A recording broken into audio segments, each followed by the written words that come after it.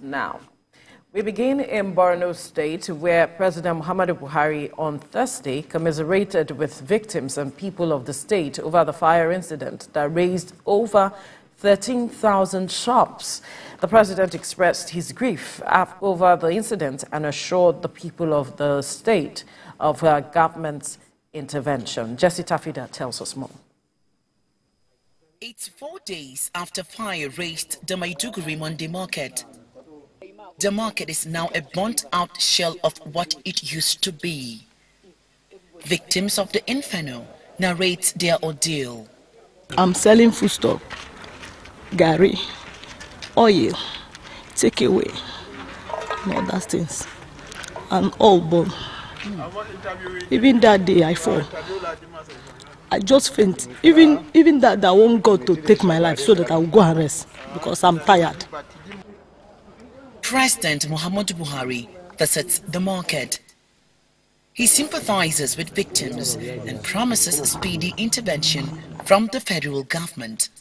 I am here mainly, as the, His Highness mentioned, to come and commiserate with you on the fire uh, on the market. Worked hand in hand with Borno State government to uh, recover, but unfortunately there's nothing to recover. An assessment is ongoing, Your Excellency.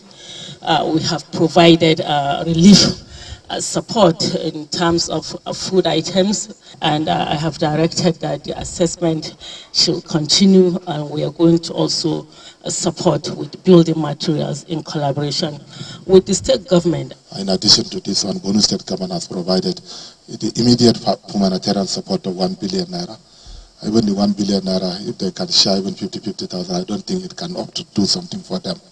The president also inaugurated some landmark projects in the state, one of which is the Maiduguri Emergency Power Project.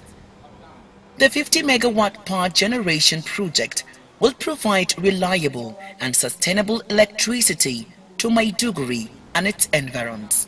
Over 13,000 shops have been razed here at the Maiduguri Monday market and about 30,000 people have lost their means of livelihood.